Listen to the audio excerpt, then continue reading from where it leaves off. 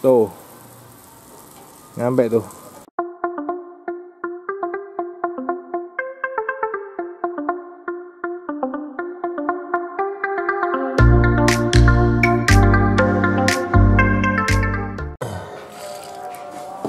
Nih ke sini nih. Nah tuh. Nah nah keluar kan? Nah keluar. Makanya itu kita beli ini untuk bisa nyuci mobil. Kita matikan dulu yuk. Harganya murah teman-teman. Ini harganya 130 sudah termasuk adaptor dan pompa air ininya ini kita yang kita dapatkan. Ini adalah pompa airnya. Pompa airnya STD pumps. High quality voltnya 12 DC flow nya 7 liter per menit ampere butuhkan 7 ampere dayanya 100 watt tekanannya 160 psi di sini sudah otomatis on off. Jadi kalau misalkan kita kerannya dimatikan dia otomatis langsung mati sendiri.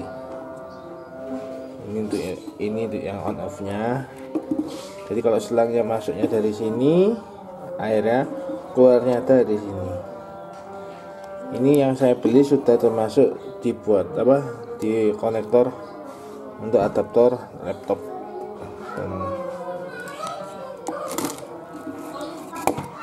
Nah ini ini tahan air ya teman-teman. Kemudian berikutnya ini adalah adaptor 7 ampernya. Ini adaptornya mereknya Oli Oli kalau topel namanya oleh-oleh ini AC DC adaptor. 110 240 12 volt 7 ampere. Oke ini melanjutkan kemarin. Kita nyeting pompa air DC jadi ini saya sudah beli. Selangnya ini memang selang bertekanan jangan pakai selang yang bisa manjang itu atau magigus kalau enggak nanti kejadian seperti ini.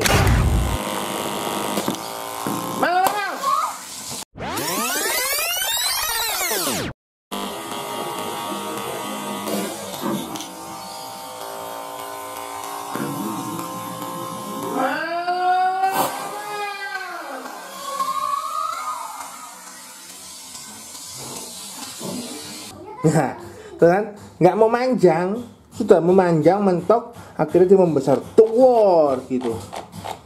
Nah, jadi ini otomatis kerannya nyala, masuk ke pompa air, dia penuh bertekanan, dia akan otomatis berhenti. Nah, ini kalau mau tahu kekuatannya, kita keluar yuk. Nah, ini ada Mbak Atel. Biasanya kalau mencet pakai ini pakai keran biasa, lah pendek, paling cuma 20 cm lah.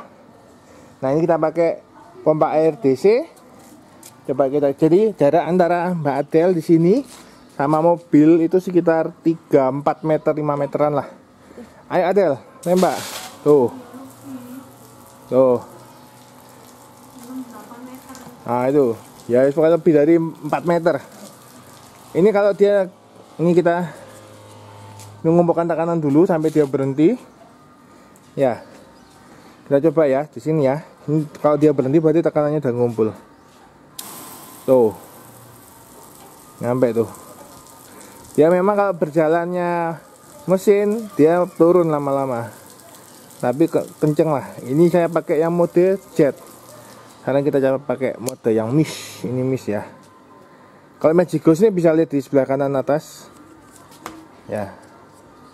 Kita coba yang miss karena pakai yang miss satu dua Wah, kenceng ini. Dan kalau bisa settingannya yang ini jangan full karena kalau dia semakin full dia otomatis tekanannya keluar semua. Jadi usahakan kecilkan aja tekanannya. Jadi keluarnya kecil banget. Jadi dia kencang loh, kencang kan? Kencang. Kita ganti full. Ini mode full. Oh. Banyak kalau mode full alah pendek. Paling kicir-kicir paling. Kita sekarang mode kun ini mode kun kita lihat yuk. Wush. Air. kenceng ini. Ah, nanti mau main air. sekarang ini nggak tahu mode apa ini.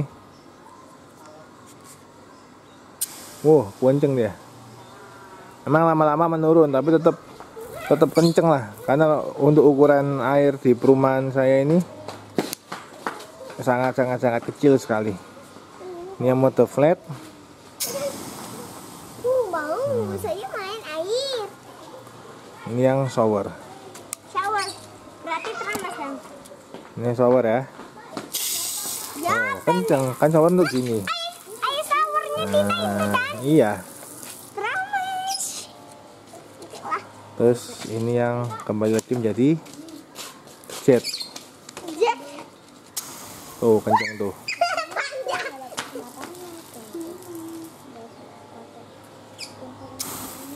Oh, ini aja kalau teman-teman lihat di sini tekanannya tinggi itu. Kita tunggu mati dulu.